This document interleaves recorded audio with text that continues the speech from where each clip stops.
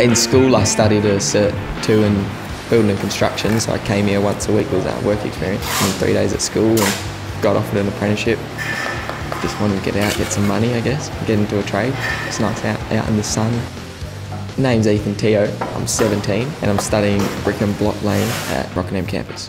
When I'm on site, it's usually getting on the trowel a bit, chucking in mixes, labouring. Everyone does everything differently, so you'll learn something at your work and then you'll come into TAFE and then the boys will be doing something different and then you've got two ways of doing things and then you learn off other people and it's like, you get like a good chunk of information I guess. Like the campus is real good, our area is nice and new, got good tools, lecturers, real good blokes.